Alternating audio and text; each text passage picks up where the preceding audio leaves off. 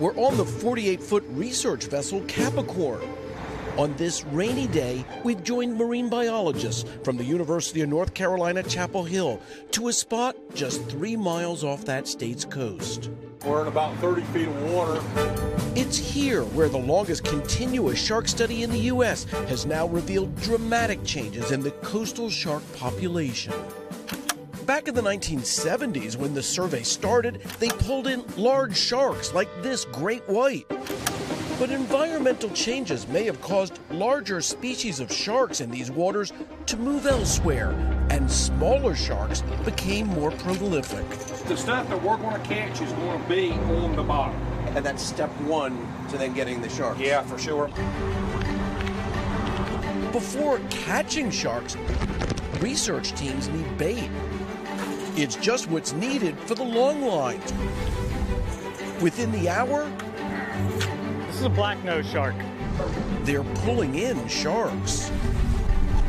Fork length is 96.2, and we've got 100 plus.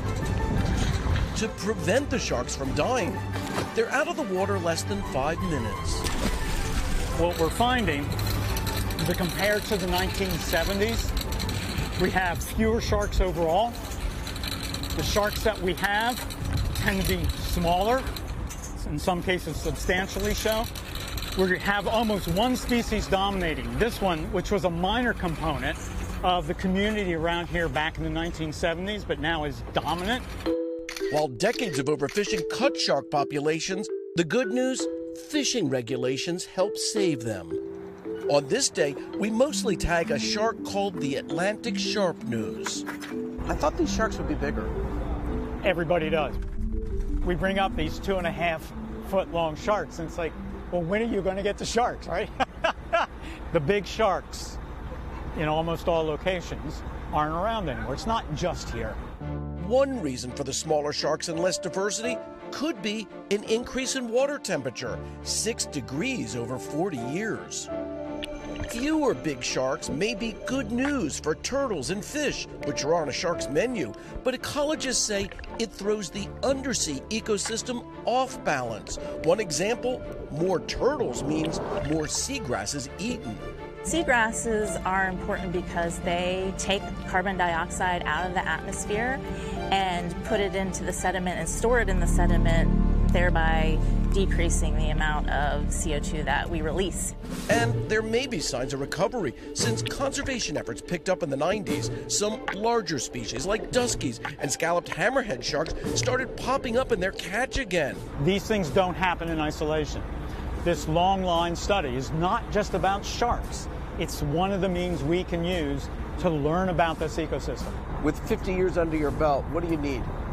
I'll give you a simple answer 50 more years. Sharks, mostly out of sight, but adapting to changes, while scientists believe their undersea world is shifting faster in human history than ever.